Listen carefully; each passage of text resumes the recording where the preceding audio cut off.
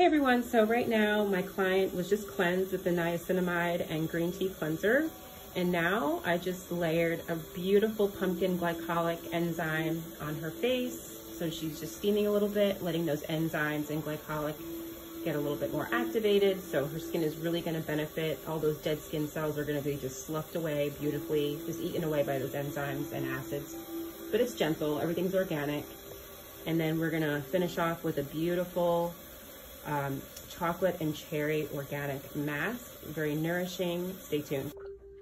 So now my client is having the chocolate and cherry hydrating mask. It's very nourishing. And then I layered another mask, which is a green tea hyaluronic acid um, sheet mask, just to really lock in that hydration and to really restore the skin's barrier. And then we'll do an LED light afterwards, and then we'll finish off the treatment.